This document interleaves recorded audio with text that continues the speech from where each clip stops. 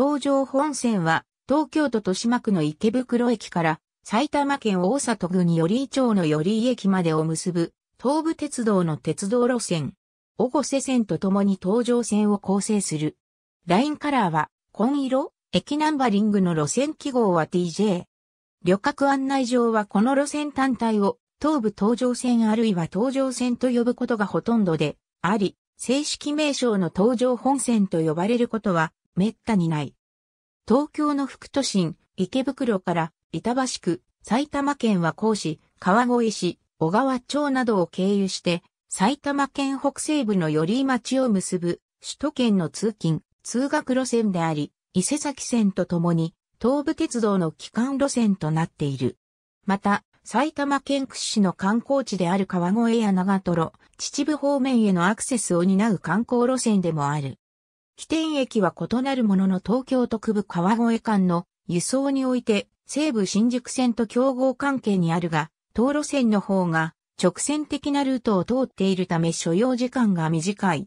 また、長瀞、秩父方面に関しては、西武池袋線、西武秩父線と競合している。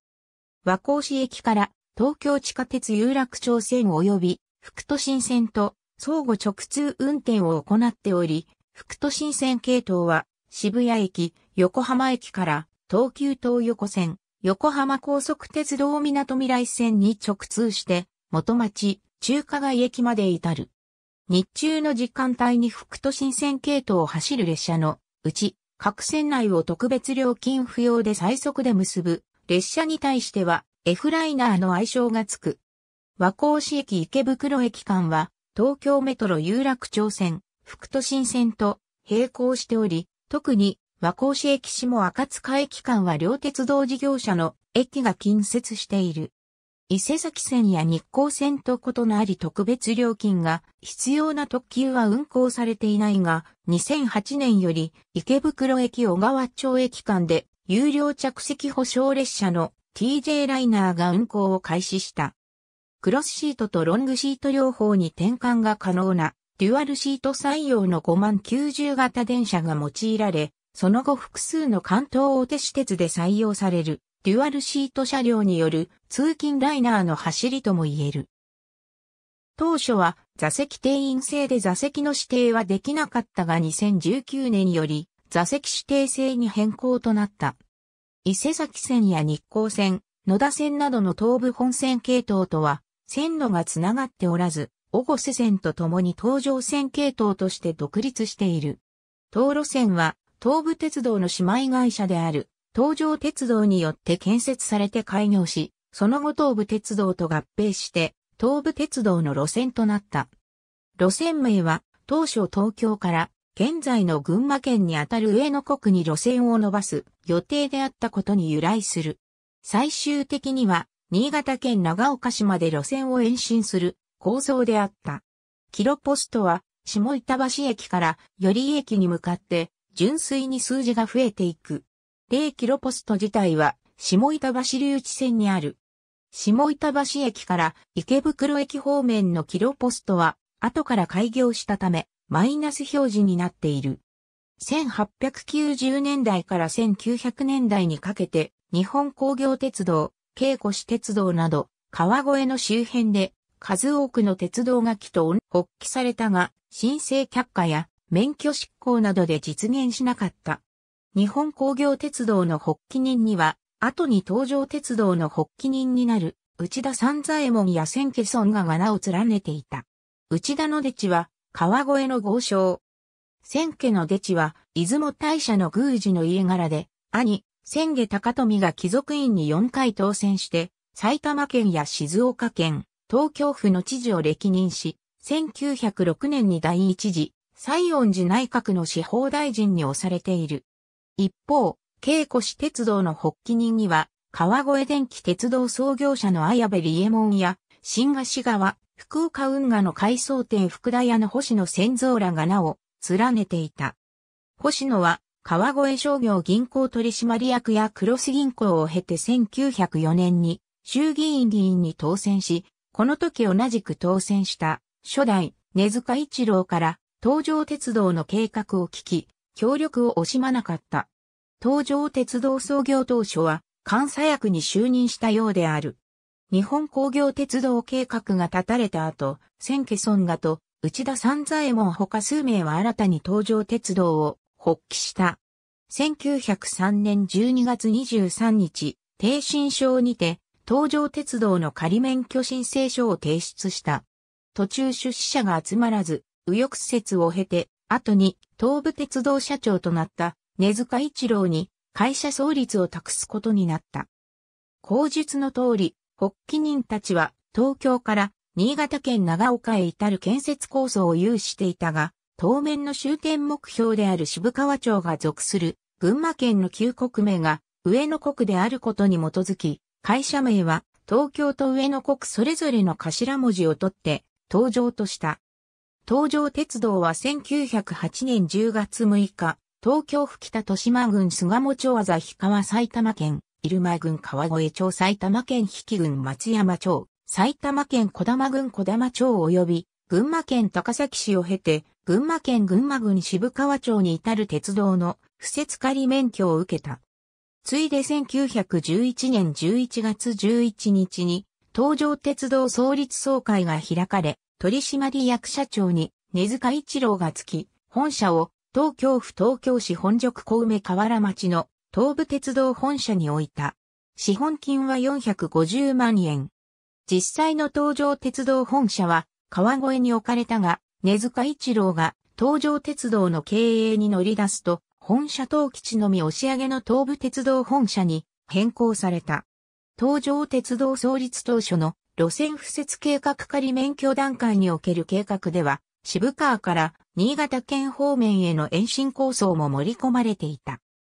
氷川池袋練馬白子から膝折から大和田地熊沢大井川越小坂松山菅谷の増井前地小前田小玉藤岡、三名飯塚金子渋川田無田沼田、真庭湯原綱子万太郎土たる湯沢、塩沢六日町浦坂出堀内東下市、長岡として、氷川渋川間を第一期線、渋川長岡間を第二期線と位置づけていた。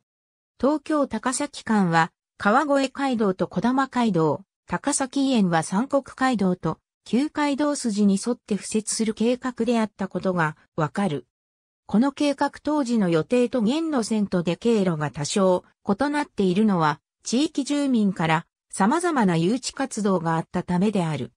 例えば、式付近の商人による誘致により、計画では白子から川越街道沿いに付設する予定であった路線が大きく北にカーブを描く形で朝霞へと至るルートに変更されている。また、川越以北の延伸では、宿場町でなく人口が多い周辺の町を経由するように計画が見直され、坂戸、小川、寄居など、当初の敷設計画になかった町を経由したため、路線は数箇所においてうねった曲線を描いている。東上鉄道水や地内敷設工事流、瀬川鉄橋を渡る、上り汽車東上鉄道の路線は、根塚一郎のほか原国蔵などを投資家の手により着工、開業した。会社設立後直ちに本免許を申請し、1912年11月16日、東京府東京市小石川区大塚辻町から群馬県群馬郡渋川町に至る鉄道の本免許状が加付された。さらに、同月30日に東京府北豊島郡菅鴨村大あざ、池袋あざぐの下から同村大あざ菅鴨あざ向原に至る軽便鉄道、1914年4月18日に、埼玉県入間郡川越町から田面沢村に至る軽便鉄道の敷設がそれぞれ免許された。以上の免許に基づき、1914年5月1日、池袋駅田面沢駅間が開通し、旅客、貨物運輸営業を開始した。開業にあたり、鉄道省から蒸気機関車3両、高野登山鉄道から蒸気機関車2両、客車13両、貨車を35両をそれぞれ購入し、東武鉄道から機関車を借り入れた。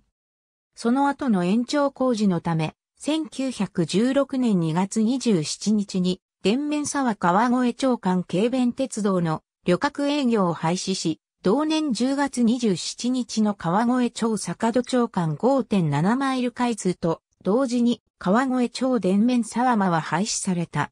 坂戸町開通に伴い、東武鉄道から客車3両が譲渡された。1918年3月、それまでの施設鉄道法によって運営された区間は、以後、軽便鉄道法による旨が指定され、また、第一次世界大戦の影響に伴う物価急騰により東部、東上両鉄道の営業費が増加したため、両社を合併し、営業上の経費節減と車両の運用諸設備の更新などを図る方針が固められた。1920年4月7日に両社長間で合併の仮契約を結び、同年4月27日に合併を決議、翌4月28日に東武鉄道社長、根塚一郎が鉄道大臣に東武東上合併認可申請書を提出し、同年7月22日までに開業線、池袋坂戸町間 40.6km と、未開業線坂戸町高崎間 62.8km の一切をもって東武鉄道と合併する旨の業務引き継ぎが行われ、同年7月27日の東武鉄道による会社合併登記をもって東上鉄道は解散した。同年9月の鉄道大臣認可により合併業務が完了した。これに伴い、東上鉄道路線は東武鉄道東上本線となった。合併に際しては、東上鉄道の一株あたり、東武鉄道の一株を割り当てる後、後の対等合併が行われた。池袋より間の現路線はすべて、東上鉄道時代に開業、もしくは着工されている。東武鉄道合併後の1923年に、坂戸町駅部州松山駅小川町駅間、1925年7月に小川町駅より駅間が開通して、現路線の全線が完成した。東武鉄道と東上鉄道の合併時点では、より駅北の延伸についても準備が進められ、用地買収中であったが、国鉄八高線の建設計画により中断された。その後1924年のより高崎間、免許執行により延伸計画は撤回され、東武東上本線は池袋駅より駅間の路線として確定した。埼玉県西部と東京の副都心、池袋を結ぶ小川町駅以南の沿線地域は、新興住宅地の開発が盛んである。近年は大型マンションが増えている。このように沿線の住宅開発が進んでいるため、多くの人が利用し、東武鉄道の中でもトップクラスの収益を上げる路線である。池袋小川町間では、現行の ATS に代わる新しい運転保安システムとして TDETC と呼ばれる ATC の導入が行われ、2015年1月31日に、まず、川越市駅小川町駅間で使用を開始し、2015年9月26日には、池袋川越市間でも使用を開始している。この区間は、豊島区及び板橋区の密集市街地を通過するためカーブが多い。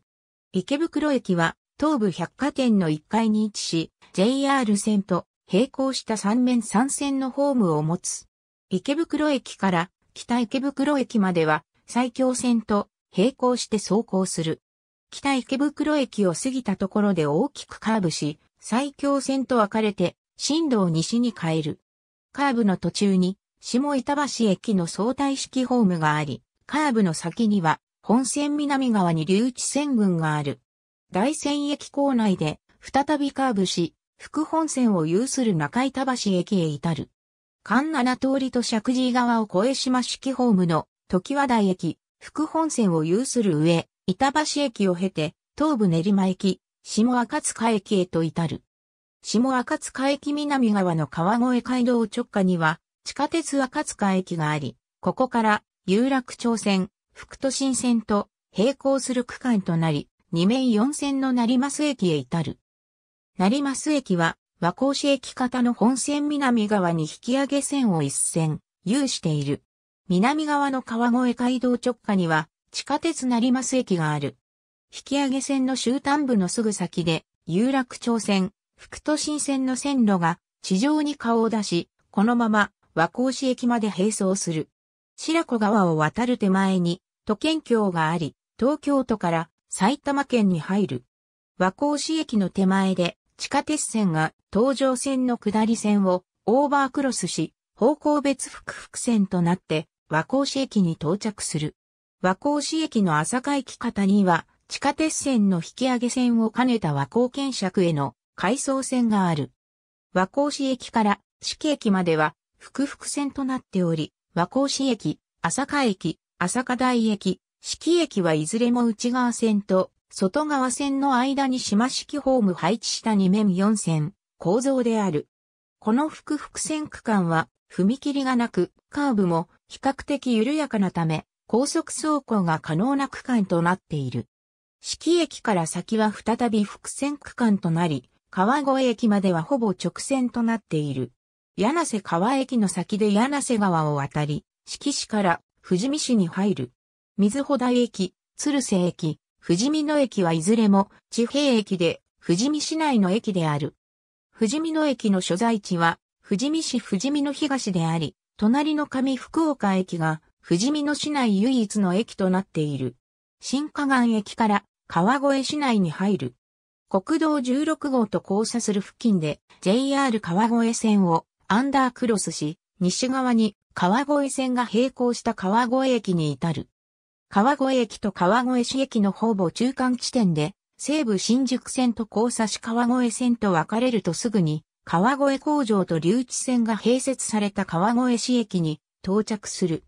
川越市駅を過ぎると、列車の本数が減って、駅間の距離も長くなり、車窓も人家が減り農地が増えてくる。川越市駅の留置線を過ぎカーブを曲がった先に、入間川がある。入間川を渡った先に、霞ヶ関駅がある。霞ヶ関駅を出て、東京国際大学のキャンパスを左手に過ぎたところで、小畔川を渡り、右手に東洋大学のキャンパスを過ぎると、川越市と鶴ヶ島市の境界上に位置する鶴ヶ島駅に到着する。鶴ヶ島駅の先で、県央道と交差した後、鶴ヶ島市と坂戸市の境界上に位置し、若葉大奥に隣接した若葉駅に到着する。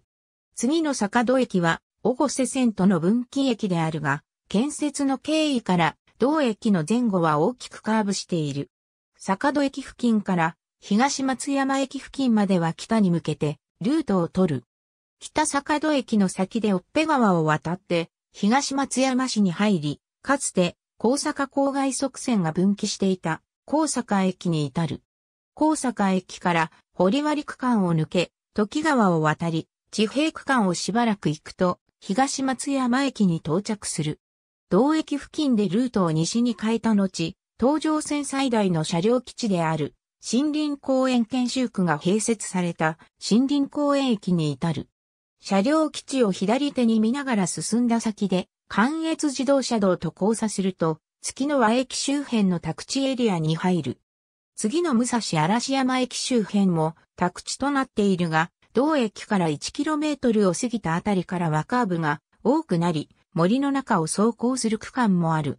嵐山町と小川町の境界付近、武蔵嵐山駅から約 3km の地点に嵐山信号場があり、同信号場から先は単線となる。4km ほど単線区間が続いた後、オーバークロスしてきた八高線と合流して小川町駅に至る。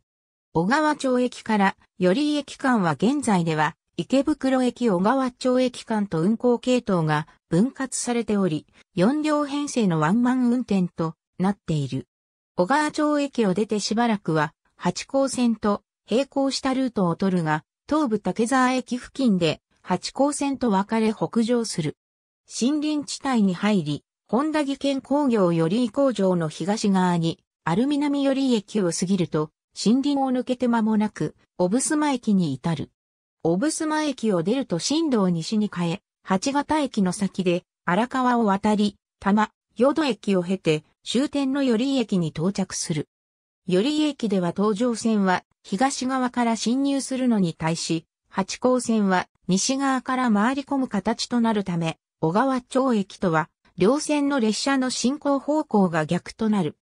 当線は、東京特部と埼玉県南西部を結ぶ通勤、通学路線として、また、日中の生活路線として機能している。各種別の現行の停車駅は、駅一覧を参照。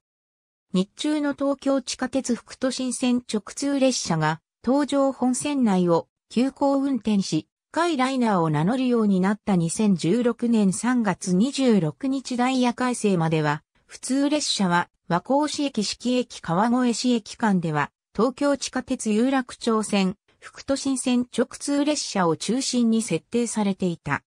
和光市駅四季駅間は、都市高速鉄道13号線として計画されていた区間であり、この区間は東上線で唯一の複複線区間であるとともに踏切も一切設置されておらず、速達列車は高速運転が可能となっている。また、複複線区間内では時間帯や地下鉄線直通の有無に関係なく、普通列車全列車と速達列車のうち地下鉄副都心線直通列車の急行と快速急行は内側の線路を走り、その他の優等列車は外側の線路を走る。なお、8月に朝霞市民祭り、綾香祭の花火大会が開催される日には臨時ダイヤで運転するが、その際は会場の最寄りである朝霞駅が非常に混雑するため、旅客の転落防止及び通路用として3番線にドア開放した回送列車を止め置くため、その時間帯の上り列車はすべて外側線を使用する。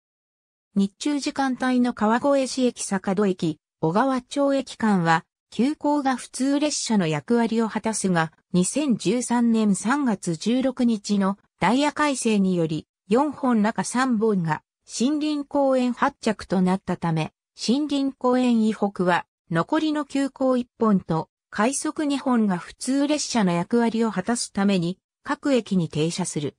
朝と夕方以降は、早朝と深夜に数本ずつ、池袋駅発着の普通列車、小川町行きがある。基本的には、川越市北は、地下鉄直通の普通列車及び準急、急行が普通列車の役割を果たすが、半分以上が森林公園駅発着であり、夕方以降の上り、平日朝8時から10時までの上り、と休日8時から10時までの上下線の快速急行と夕方以降の下りの TJ ライナーが森林公園駅小川町駅間の普通列車の役割を果たすために各駅に停車する。2016年3月改正ダイヤでの昼間1時間あたりの運行本数は以下のようになっている。都市高速鉄道13号線は、渋谷池袋小竹向原は公式機関を結ぶ路線として計画され、これに基づき小竹向原駅は公主駅、式駅間が先行して、整備、開業し、地下鉄8号線と合わせて有楽町線と呼ばれていた。東上線は和光市駅から東京メトロ有楽町線、副都心線へ相互直通運転を行っており、小竹向原、飯田橋、有楽町、新木場方面、新宿三丁目、渋谷方面、自由が丘、横浜方面、港未来、元町、中華街方面へ乗り入れている。東上線、または地下鉄線で人身事故などの輸送障害が発生した場合、直通運転を中止することがある。その際、下り方面から来た直通電車は和光市駅に進入できないため、朝霞駅北で運転を打ち切る。また、東上線の都内区間で輸送障害が発生して運転を見合わせた場合は、運転再開までは直通運転区間である和光市駅川越市駅間で直通列車のみで運行を継続する場合も多い。運転再開後も平常運転を基本とするが複々線区間が終わる。式駅到着までは時刻通りで運行される。ただし、運転状況によって直通運転を中止して、副都心線からの式業は副都心線内で和光市業に変更されることもある。運転再開後の遅延した急行の待ち合わせは、式駅で行い、急行などを先行させた後に発車する。上り線でも同様の処置が行われる。運転再開までは和光市駅や JR 東日本の武蔵野線との乗り換え駅である朝霞台駅で乗客が溢れる。車両運用について東上線から有楽町線及び副都心線、東横線港未来線への相互直通列車についてどの列車がどの車両で運転されるかは、マイライン、東京時刻表の列車番号欄にて判別ができる。列車番号末尾アルファベットの T が東部車両、S が東京メトロ車両、K が東急車両となっている。なお、列車番号が6桁の数字で表記されている東横線、港未来線では上3桁が運用番号で800番台が東部車両、700番台が東京メトロ車両、000番台が東急横浜高速車両となっており、例えば 0HT の場合は東横線、港未来線では801となる。なお、東京メトロ、東急、横浜高速車両は、有楽町線新木場駅や港未来線元町、中華街駅などで折り返し後、西武有楽町線、池袋線直通列車となる運用がある。現行の停車駅に関しては、駅一覧の節を参照。以下において、平日、土休日はダイヤ設定上の曜日を指す。TJ ライナー、川越特急に共通で使用される5万90系2008年6月14日のダイヤ改正で新設された種別。英文表記は TJ ライナー。シンボルカラーは青を基調とする。停車駅案内におけるラインカラーはオレンジを使用。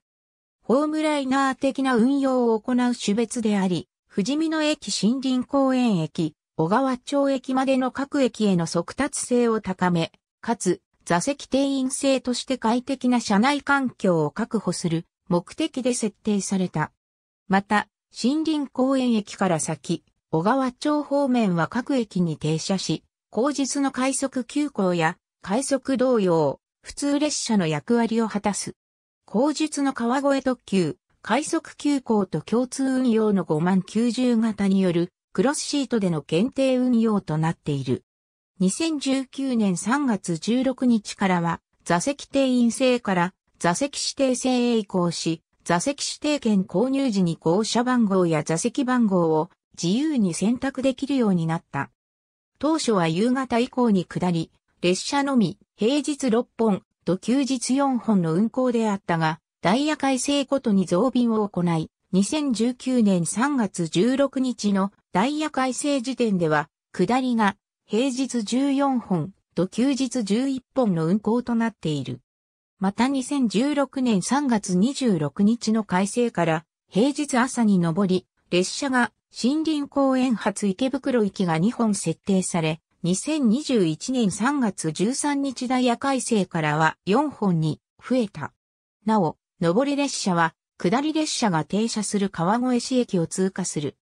乗車時には座席指定券が必要となり、下り列車では池袋駅での乗車時は運賃の他座席指定券370円が必要であるが、富士見野駅から先の停車駅では座席指定券370円は不要になる。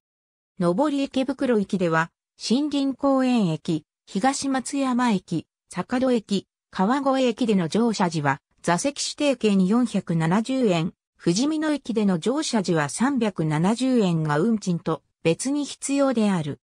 なお、座席指定券は、池袋駅と富士見野駅玉、淀駅及び、小越線全駅において、下り列車は、当日から、上り列車は、前日から購入可能である。またチケットレスサービスは1週間前から購入可能である。2019年3月16日のダイヤ改正で新設された種別。シンボルカラーはゴールド色を基調とし、停車駅案内におけるラインカラーは紫を使用。英文表記は川越リミテッドエクスプレスである。TJ ライナーと共通運用が組まれるため、5万90型のクロスシートで運行され、特別料金不要で乗車券のみで乗車が可能である。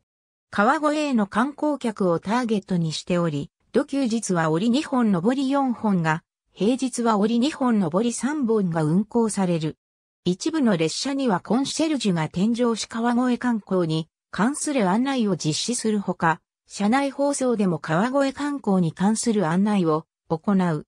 また、車内チャイムとして川越市出身の作曲家、菅野幸子が作曲した川越特急専用のチャイムが使用されている。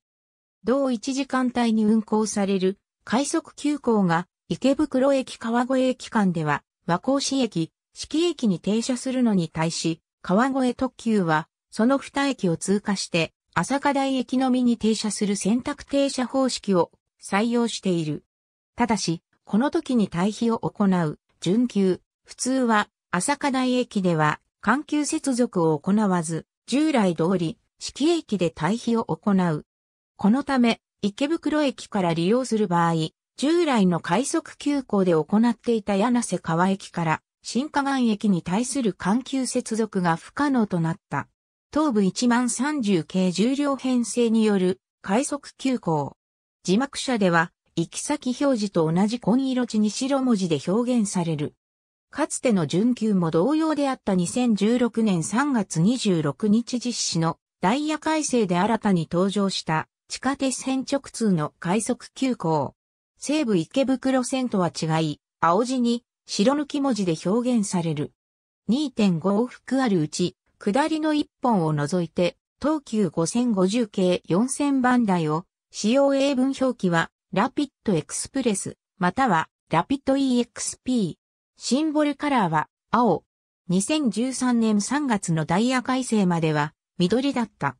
平日は上りのみ、土休日は朝、下りと上りで運行される。停車駅は改正前の特急停車駅に式駅が加えられたものとなっている。以下の2系統に大別される。東部1万系重量編成による快速。字幕車では青字に白文字で表現される。2013年3月16日のダイヤ改正で新設された種別。シンボルカラーは水色で、英文表記はラピッドである。快速急行と急行の中間の種別として日中に運行され、日中の最速達列車として運行される。全列車が池袋駅発着で運転され、有楽町線、福都新線には乗り入れない。停車駅は快速急行停車駅に成増駅、朝霞台駅、富士見野駅、若葉駅を加えたもので、日中1時間に2本の運行。2013年のダイヤ改正後は、急行が日中1時間に4本の運行となることから、和光市駅川越駅間では急行と合わせて、速達列車が1時間に1本の増となっていたが、快速通過駅、特に川越市駅東松山駅間の通過駅は減便されたため、後述する海、ライナー、急行が登場する2016年3月26日のダイヤ改正で日中の準急の増便を図り通過駅の乗り継ぎを向上させた。ほとんどの列車が成増駅で普通列車に、富士見野駅で川越市駅発着の準急、川越市駅では森林公園駅発着の準急と環急接続を行う。また、森林公園駅では急行と接続する。なお、先発する急行とは並行運転を行っているため、下り列車の方が上り、列車よりも所要時間が多くかかる。小川町駅で、より方面の列車と接続している。小古瀬線との接続は、基本的に急行が行っている。2016年3月のダイヤ改正から、平日の上り23時台に1本新設された。この列車は TJ ライナーの送り込み運用であるため5万90型が限定使用され、上り快速急行と同じく進行方向を向いたクロスシートで運行される。また、川越市駅で接続する準急が森林公園駅発着となり環急接続を行うようになったため、快速通過駅の霞ヶ関駅、鶴ヶ島駅、北坂戸駅、高坂駅利用客の利便性が向上した。運行の変遷本種別は2013年のダイヤ改正で登場し、日中時間帯に川越市駅北でも通過運転を行う種別は、本種別が初である。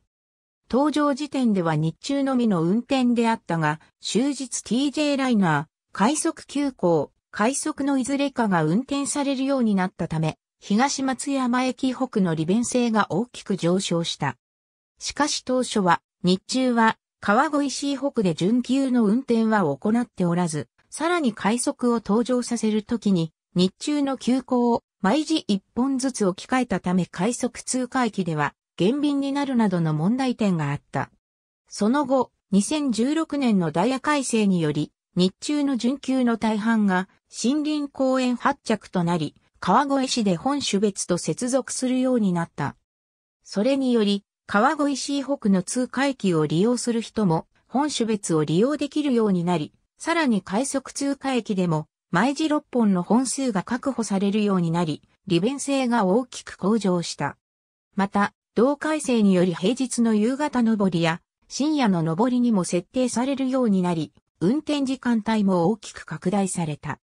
準急と並んで東上線の主力である、急行2016年3月26日より、運転を開始した副都心線直通の急行 F ライナー。渋谷以南の東急東横線、港未来線内では快特急に変更される。かつて運転されていた武蔵嵐山発着の急行。8両編成の運用もあった終日設定されている。英文表記はエクスプレス。シンボルカラーは赤。以下の2系統に大別される。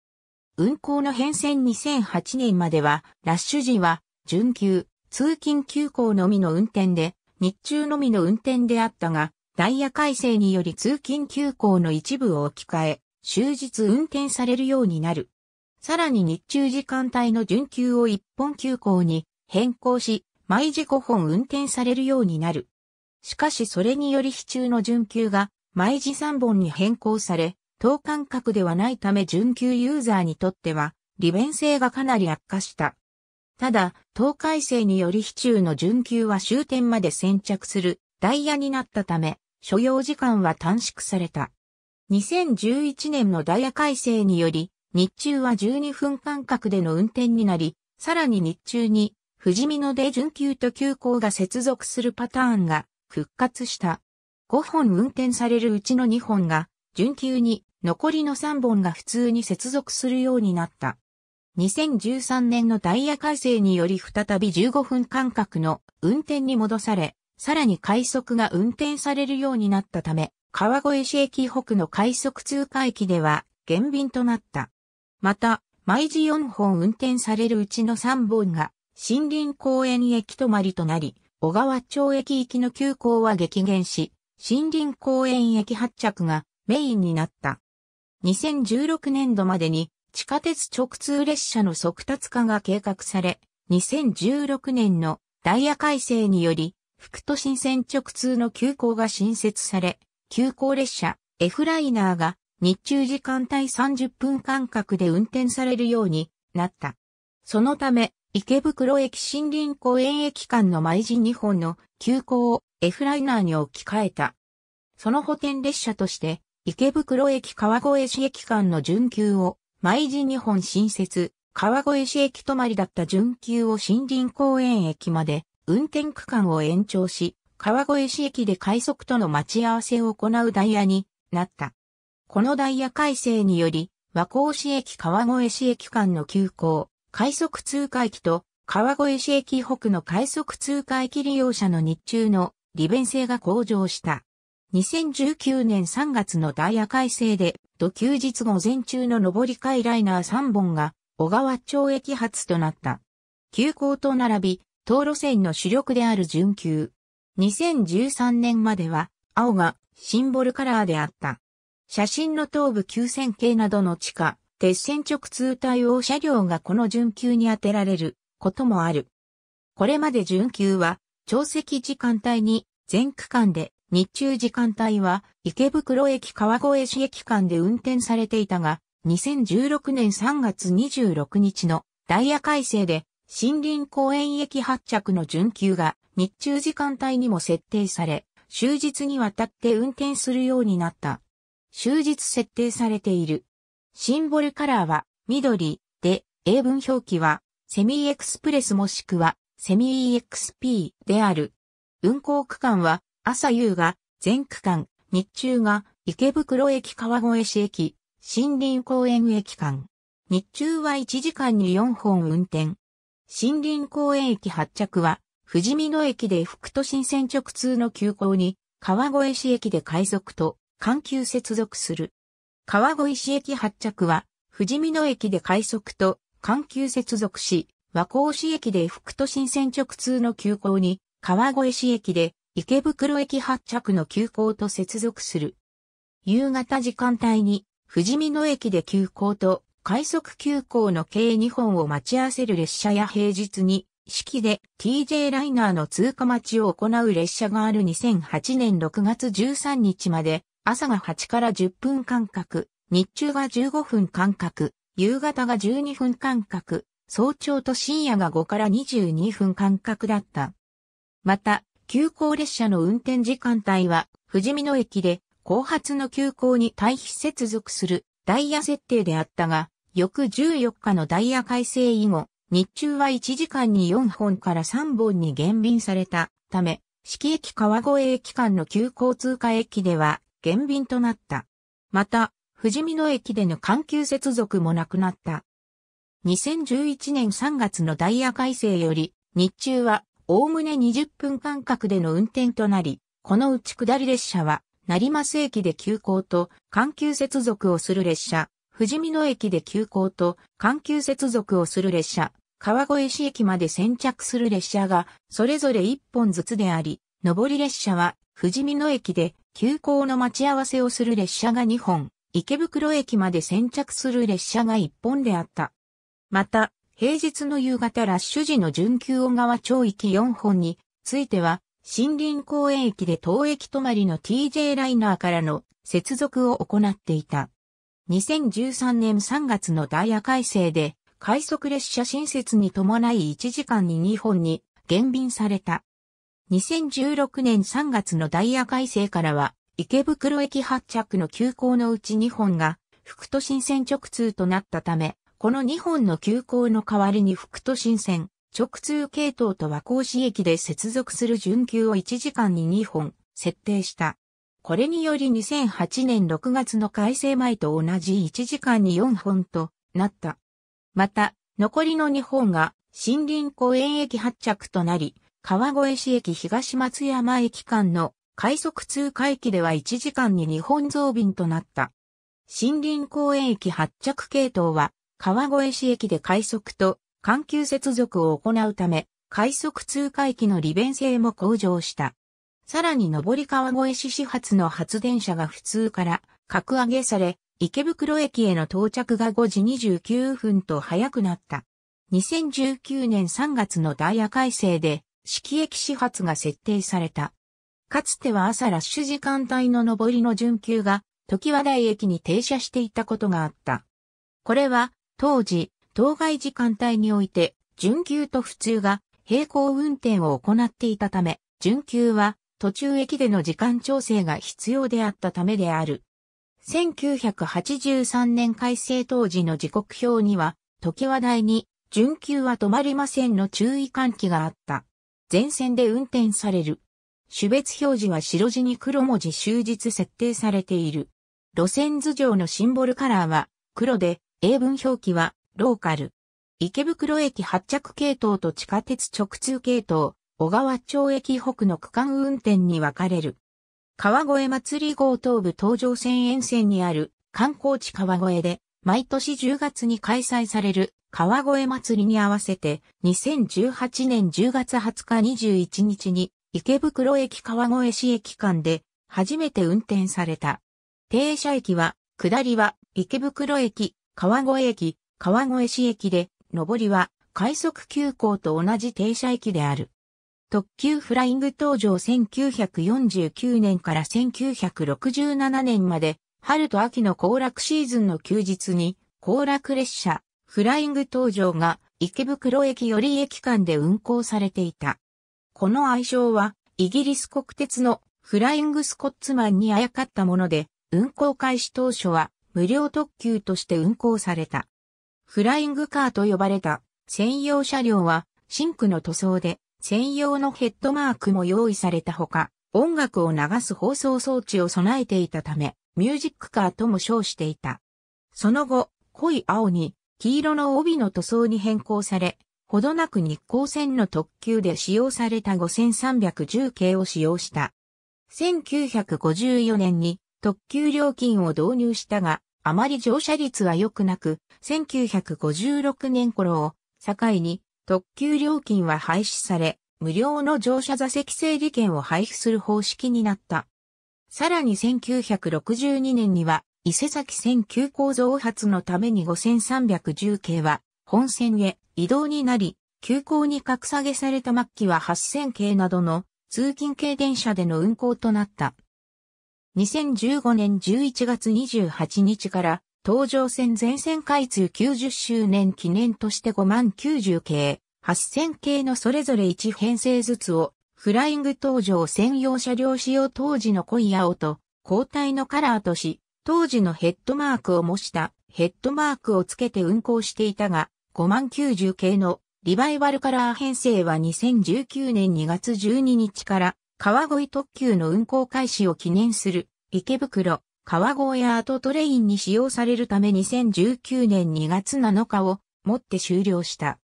行楽急行、特急行楽急行として運行開始されたが、1971年の急行設定に伴い、種別を特急に変更した。秩父鉄道線への直通運転は、通勤車両による運行となった後も1992年まで行われていた。また、愛称も付けられ、先頭車の前面にはヘッドマークも掲出されていた。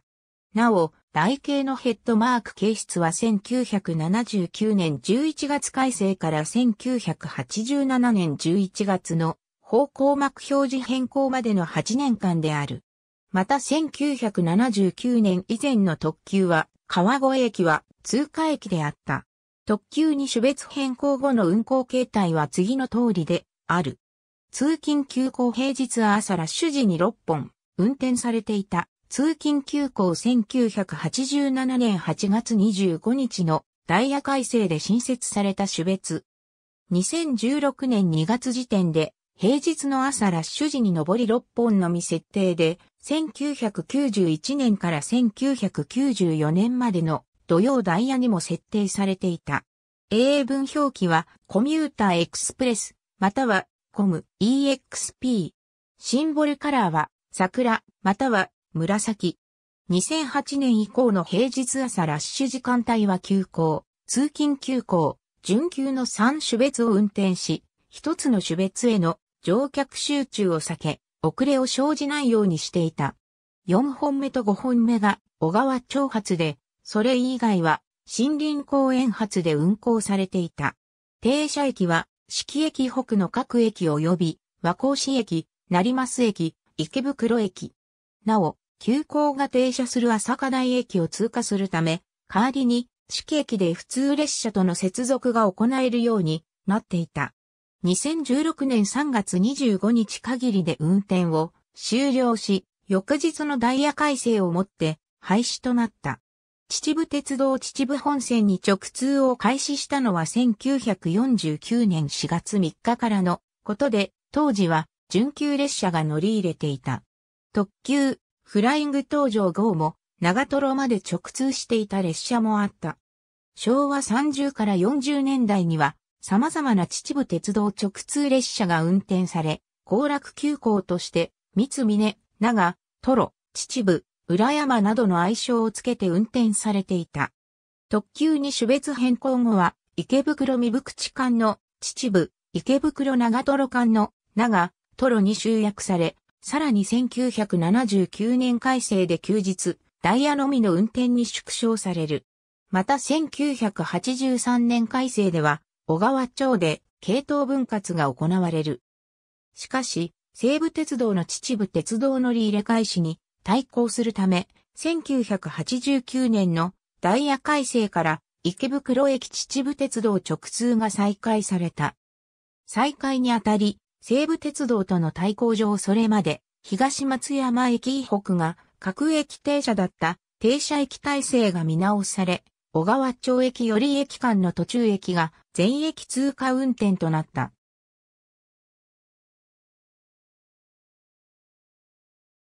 なお、この2列車は全区間8000系6両編成で運行され、混雑を緩和するために、小川町発着の10両編成の急行が数分の間隔で前後に運転された。そのため、急行の後を追って途中追い抜くことなく運転されたことから、所要時間は急行と大差なかった。また、当時の広報誌、ユア登場では、行楽シーズン時には、より言い方に増結を行い森林公園で切り離しを行うことがあると書かれていたが、実際には行われていない。1989年の池袋駅秩父鉄道直通復活時の停車駅は以下の通り。運転時刻は以下の通り。しかし、秩父鉄道が東武鉄道と互換性のない ATS を導入することになり、特定車両使用の困難さから1992年3月29日をもって秩父鉄道への直通は中止され、三峰と長、トロは相性名なしの池袋より以間の特急となった。また、ほぼ同時期に西武鉄道による秩父鉄道乗り入れ列車の運転区間が野上駅から寄居駅に延長されている3月6日から運転区間が長瀞駅までに短縮されている。2007年7月21日に開催された秩父鉄道東武鉄道合同リレーイベントでは森林公園から寄居まで東武リレー号を秩父鉄道では寄居未福地間の往復で SL パレオエクスプレスをそれぞれ運転し、寄居駅での接続体制を取った。秩父鉄道を介する東武本線系統との間の回送運転東武東上本線は東武本線系統と直接連絡していないため、旅客列車の秩父鉄道直通運転終了後も本線系統との間において車両改装を行う場合は、引き続き、秩父鉄道を介して運転されている。その経引用として8000系2両編成3本に、秩父鉄道の ATS を搭載する措置が取られた。1920年の東武鉄道と東上鉄道の合併を受けて、本線系統と東上線系統の連絡を図る目的で計画された。1922年に東京府南足立郡西新井村東京府北、豊島郡上板橋村間 11.6km について免許申請を行い、1924年に可付されたが、ごく一部の区間が現在の大支線として開業した他は実現せず、1932年以降、企業廃止された。なお、西板線計画時は本線系統の分岐線と位置づけられていたことから、路線軍総省としては本線に属する予定であったため、同線は東武東上線の路線群には含まれない。1964年から1972年にかけて都市交通審議会答申に基づく形で埼玉県北足立郡大和町大和町駅、東京都板橋区都営地下鉄6号線、志村駅間に東武鉄道による新線 4.8km を建設し、完成後は同線を経由して、東急線が久慈線、池上線経由で、当時の東急田園都市線方面との間で、相互直通運転を行うことが計画されていた。道路線ははじめ登場支線、1969年3月の板橋区住居表示実施による高島平の町名発足及び同年8月に行われた都営地下鉄6号線志村駅の高島平駅への解消後は、東武高島平線の仮称で予定されていた。1972年3月1日運輸大臣に提出された都市交通審議会答申第15号にて、この計画は削除され、建設には至らなかったが、東武鉄道が保有していた地方鉄道敷設免許の内高島平山、円町間 1.5km については1973年4月に東京都へ譲渡され、都営地下鉄6号線、高島平西高島平間として1976年5月に開通した。高島平駅ホームが2面4線構造であることは、高島平線計画の名残である。また、T 型 ATS を東京都交通局と共同で開発していたという記録も残されている。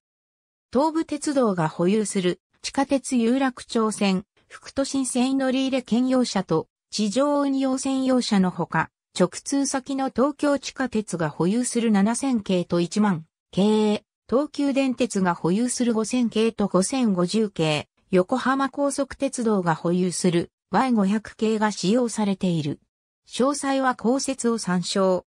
編成両数は池袋小川町間では、式発着の副都心線直通列車の一部に、東京地下鉄、東急電鉄、横浜高速鉄道保有の8両編成の運用がある以外は、すべて10両編成で運行されている。小川町より間は、すべて4両編成である。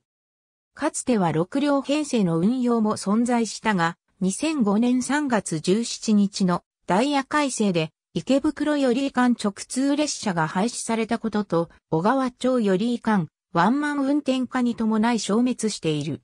かつて池袋発着の列車にも8両編成列車があったが、2008年6月14日のダイヤ改正で10両編成に統一された。一方、同改正前は東京地下鉄の全編成が10両であったが、改定後は副都心線直通列車に再編成された東京地下鉄7000系及び1万系、さらに2013年3月16日のダイヤ改正からは東急5000系、5050系と横浜高速 Y500 系の8両編成が式和光士間で運行されるようになった。また東横線、港未来線への乗り入れ開始により、東横線と東京メトロ日比谷線との乗り換え駅である中目黒駅では東上線からの直通用車両が伊勢崎線、日光線からの日比谷線直通用車両と同一ホームで並ぶ光景が見られるようになった。自社車両全車両が森林公園研修区所属。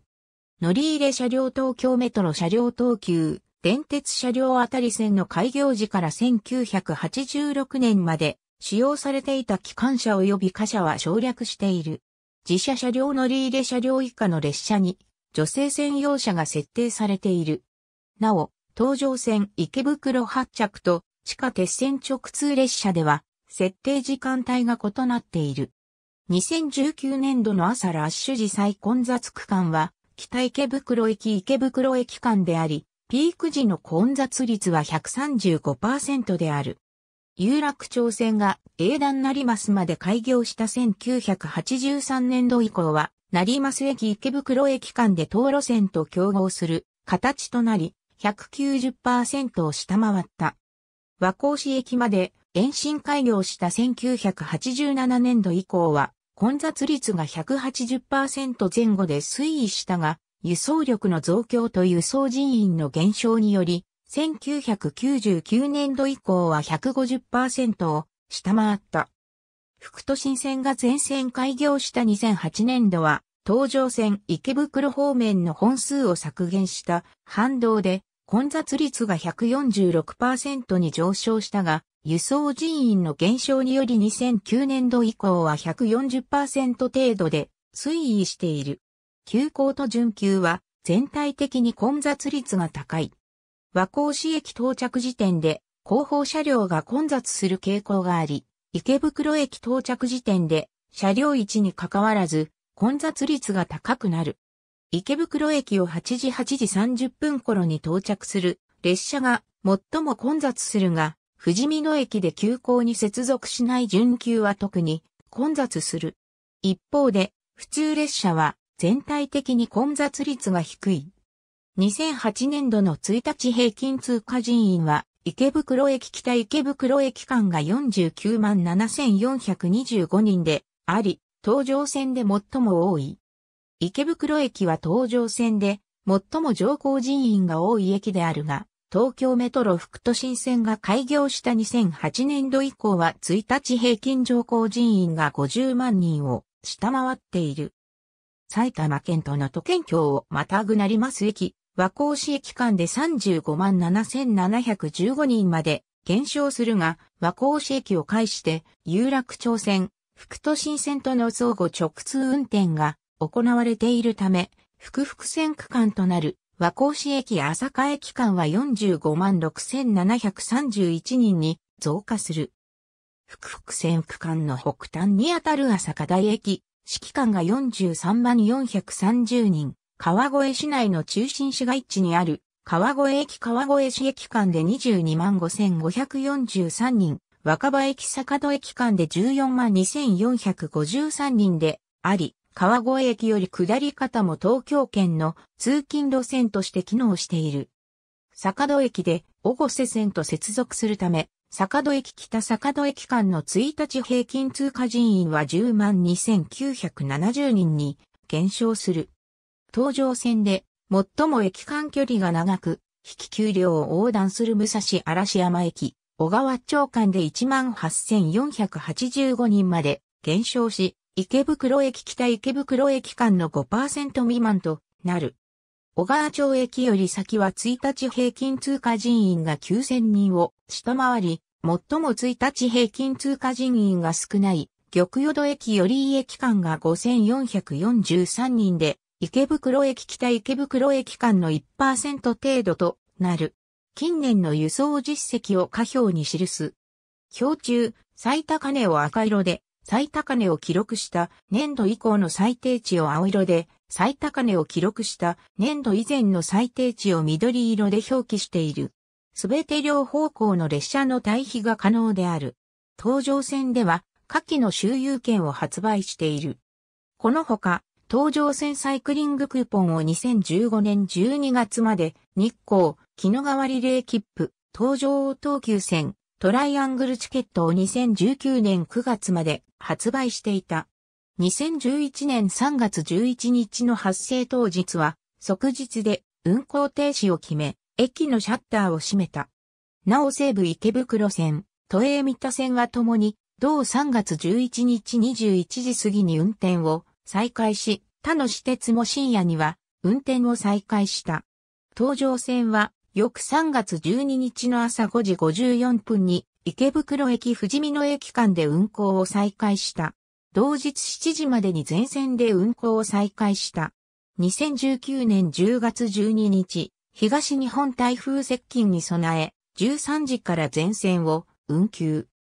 翌10月13日の6時30分に、池袋駅川越市駅間、8時に川越市駅坂戸駅間、8時5分に森林公園駅小川町駅間、8時23分に小川町駅寄り駅間、16時49分に坂戸駅森林公園駅間の運転を再開した。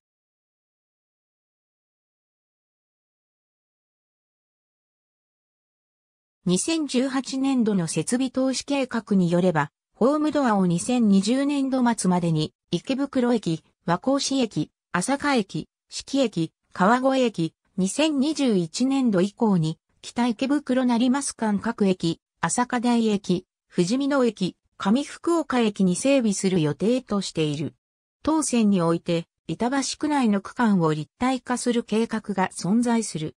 この事業は、道路と鉄道を連続的に立体交差化することで、交通渋滞や踏切事故、鉄道による地域の分断を解消し、街の一体化を確保する目的で行われる。2019年現在、板橋区の大仙駅付近約 1.6km について立体化される都市計画道路補助第26号線と共に連続立体交差事業の事業化を行う計画が進められている。構造形式は高架式及び地表式で高架化後も大仙駅は相対式ホーム2面2線となる予定。本事業に伴い、対象区間に存在する踏切8カ所が撤去される。事業主体は東京都で2021年度に都市計画事業の認可を取得し、2030年度の完了を想定している。東京都踏切対策基本方針において、時和台駅上板橋駅付近間を高架化する計画が鉄道立体化の検討対象区間に位置づけられている。この区間は、板橋区が大仙駅付近の事業の進捗状況を見極めながら、さらに都市計画道路補助第86号線及び第244号線の整備計画と同時に調査するとしている。